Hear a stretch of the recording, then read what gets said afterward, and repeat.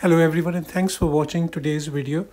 Those of you who have been following my videos might remember in the last two or three videos I was talking about different diseases that make swallowing a wee bit difficult for us and the food does not go down easily.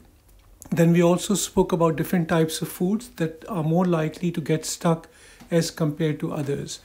Today I'm going to talk about a few medical procedures that are undertaken in the hospital to make the swallowing a wee bit easier and to make the conditions which makes the swallowing difficult also make it slightly easier for the food to go down. So I've drawn a few uh, situations over here. So we got the food pipe or the esophagus and the stomach. Food pipe, esophagus, or in the stomach, uh, esophagus and the stomach. Now, in the first situation or the scenario, there is nothing wrong with the esophagus. Esophagus is normal. This red thing is the food uh, which is stuck in the lower part of the gullet or the esophagus or the food pipe. Now, it's not going down. We have tried everything we could for the last few hours. Now, what are the options that the hospital has? One of the options the hospital has is they put the camera down, which is the endoscope or and the gastroscope. So that green thing is the camera. They can put it down and try and push the food through. So that's one thing an endoscopist can do is try and just shove something through further down. The other option is they can break the food down with their, uh, they got little instruments with which they can cut the food into smaller pieces and try and then push it through or wash it up and suck little bits of the food up with the, with the camera. That's the second situation. Third situation is they can um, put a little like a fishing net, a basket down and that fishing net can grab the food and they can either pull it up through the mouth or push it down into the stomach.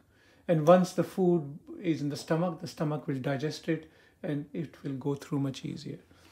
Now, the second situation is in there is something wrong with our esophagus. Now, one thing that can be wrong with the esophagus, and if you don't know about this condition, then please watch my previous couple of videos, is the bottom end of the esophagus does not open up easily.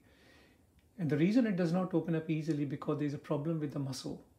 The muscle does not work properly. So the muscle stays shut and it can't open up when the food goes down. Normally when we eat, the muscle at the bottom of the esophagus or the food pipe will open up and let the food through. But if the muscle is not working normally, because maybe the muscle is not normal or the nerves supplying the muscles is not normal, then it will not open and stay shut. So food comes and gets stuck on top of it, can't go through. Now, in that case, what the endoscopist can do, because the food is getting stuck, they put the camera down, which is the green thing, and through the camera they put a little needle through, which is a little blue line I've drawn, and they can inject some stuff into it. And sometimes uh, the stuff they use is Botox, you know, which you know about, people use on their face for wrinkles, etc. Because what it does, it relaxes the muscle and make the swallowing a wee bit easier. Now, if that does not work because the condition is too advanced or it just doesn't work sometimes, then other option is the camera, uh, the endoscopist can put the camera down and through the camera, which again uh, I made with the blue thing, is they put a balloon down. Yeah, like like um, you um, have a balloon which you blow up. S similarly, they can put a special balloon down with the camera, and the balloon usually goes in when it is not blown up, and once the balloon is in the right place, which is in between the muscle, they can open up the balloon, stretch it up with air or some fluid, and to a certain pressure or to a certain size, and it will stretch the gullet and makes things much easier to go through. Now I got this uh, rug over here, which is I've rolled up into sort of a tube. If we think of this as a food pipe, yeah, it's got two layers in it. One is the inside layer, yeah, that you can see here, inside layer, and one is the outside layer that you can see over here. So there are two layers of this rug. Now in achalasia, the problem is not the inside layer, which is lining of the gullet. So that's the hole of the gullet.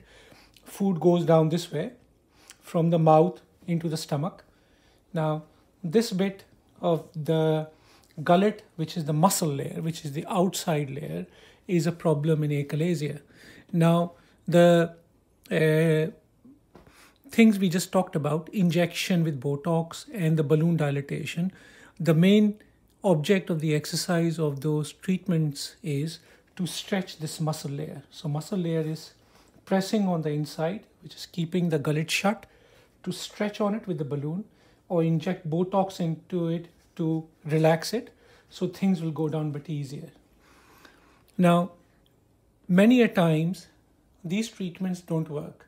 Then the next option that is left is to treat this in a bit more aggressive fashion. And one of the ways of doing it is doing it surgically.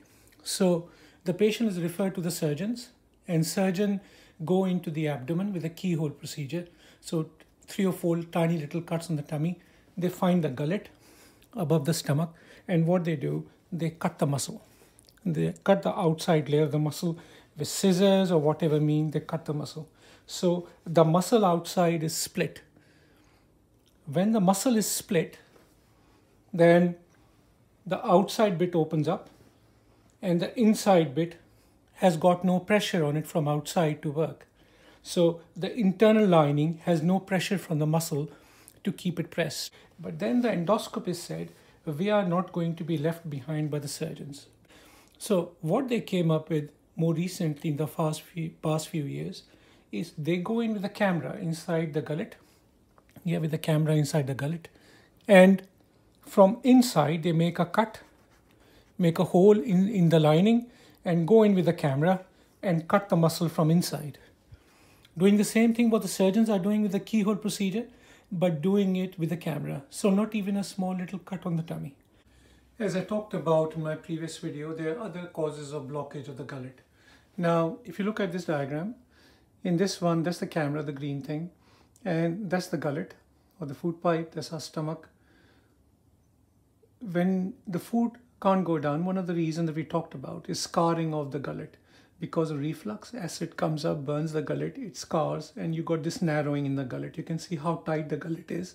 Hardly anything will ever go through. So in that case, what some endoscopists do, they come down with the camera and they, with the instrument through the camera, you can see there's a little wire coming down and they can burn this thing in the middle and cut a hole through it. So the scarring can be cut through like making a tunnel um, uh, which has been blocked, uh, trying to bore a hole through it again.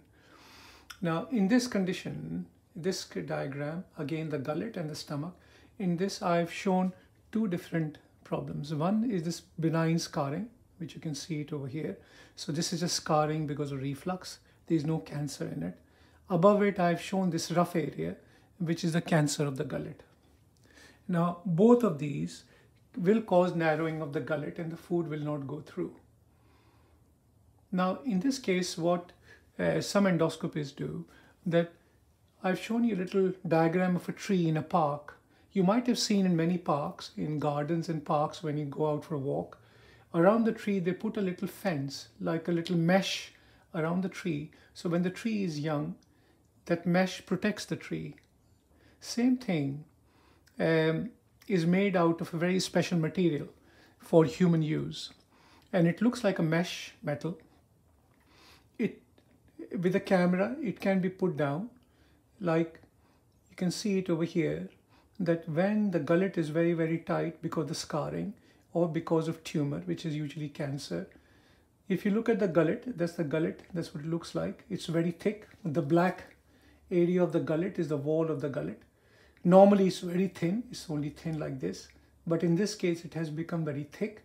The thick could, thickness could be because of cancer, could be because of scarring. So the hole in the middle of the gullet, which I put down as red, is only really tiny. Normally, the hole would be like this yeah. But in this one it is very very tiny. So with the camera they put a little mesh in the middle of it. You can see that red thing is a tiny little mesh which they have put in there. Now when the mesh is put in it's a very smart mesh made out of very special material. And when they put the mesh in it's very very thin. So it's just like this this thin. They put it in And when they're happy with the position of the mesh, that it has gone through the blockage, they leave the mesh in there. And when they leave the mesh in there, after a while, the mesh starts expanding. And you can see that the red thing, which is the mesh, has blown up into much bigger size. So food will start going down much easier. Unfortunately, sometimes a condition is such that which cannot be cured, which cannot be removed. Like in this case, I put this condition, which may be a tumor or a cancer, or the patient is not fit enough for any of these procedures, or there is a limited life left. In that case, the important thing is to give patient nutrition and to keep up the nutrition and to keep the fluids in, a feeding tube can be put in. So tube is put down from the nose with a camera into the stomach or it can be put down through the skin into the stomach or through the skin into the part of the small intestine. Now these tubes can be left in there for weeks or even months or sometimes even longer and they can be used for feeding. Uh, so these are the different ways in which the blockage of the gullet can be dealt with.